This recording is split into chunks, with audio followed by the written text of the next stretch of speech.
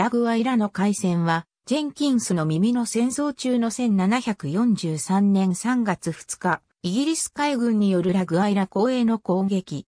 チャールズ・ノールズ率いる遠征艦隊は死傷者600人を出し、多くの船が損傷するか沈没した。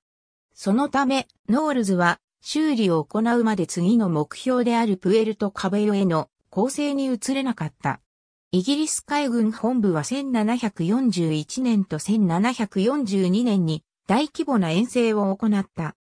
1743年も引き続き、スペインの集落への襲撃を続けるが、より小規模な遠征を行うとした。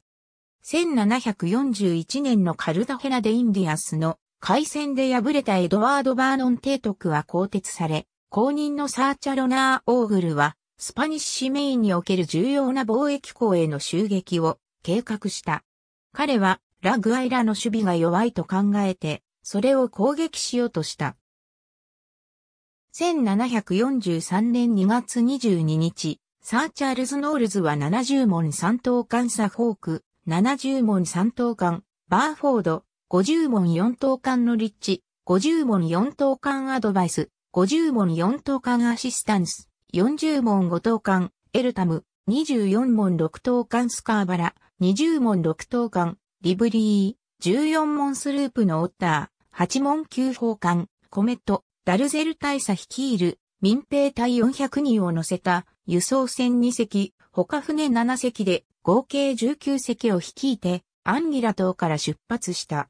ノールズはラグアイラの守備を過小評価してカルタヘナ・デ・インディアスより弱いと考えた。彼は2月27日にラトルトゥガ島に到着した。スペインは攻撃の警告を2ヶ月前に受け取って、守備軍を徴募してオランダ人から火薬を獲得したとされたが、それが真実かどうかは定かではなかった。チャールズ・ノールズの肖像が日の出の時点では、イギリス艦隊がラグアイラ港から東15マイルの位置にあり、オッターは内港を偵察するために派遣された。スペインの見張り人は午前6時半にのろしを上げて、ラグアイラとカラカス渓谷を発し、総督のガブリエル・ホセでスロアガモユアモニシーンドで、ダルゼル大佐の連隊から帳簿した民兵隊を率いて海岸までの25マイルを行軍した。スペインの中流軍の指揮官、マテオ・グアルト・ホセでイトリアガ隊は、オランダ人から獲得した火薬を利用して、イギリスの強襲から守備するための準備を行った。正午頃に、バーフォードが停泊地に侵入、エルタム、のリッチ、サフォーク、アドバイス、アシスタンスがそれに続いた。スペインの大砲6門からの砲撃が続いたものの、イギリス艦隊は午後1時までに戦列2列を形成することに成功、激しい砲撃戦となった。しかし、スペインの砲撃は予想以上に重く正確で、港が大きく増水したこともあって、イギリス軍の上陸は不可能となった。スペインはノールズがラグアイラを占領しようとしていることを前もって警告されたのであった。3時間半が過ぎた後、バーフォードは錨綱を切って、射程外まで離れ、またフリゲートのエルタムも損傷した。しかも2隻とも誤ってノリッチと衝突したため、ノリッチも離脱してしまった。午後8時頃の日没頃に砲撃が止み、すでにボロボロな状態のバーフォードは身を守るために、風上へと向かった。これをノリッチ、オッター、アシスタンスが援護したが、いずれも怒りを下ろせなかった。翌日の日の出には、旧砲艦コメットが、やや散発的な砲撃を再開した。3月4日には、スロアガが住民たちに敵が上陸しなかったことを再確認するために、首都のカラカスへ戻ることを余儀なくされた。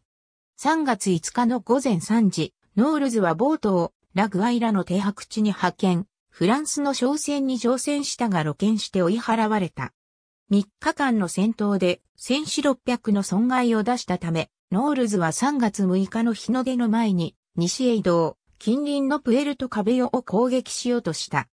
しかし、プエルトカベヨから東4マイルのボルブラータで合流するよう命じたにもかかわらず、別行動を取ったバーフォード、ノリッチ、アシスタンス、オッターの4隻は、キュラソー島へ移動した。ノールズは、激怒しながらも仕方なく追従した。彼は3月28日に小型船でプエルトカベヨを巡航するよう命じ、艦隊の修理が終わると31日に再び出港した。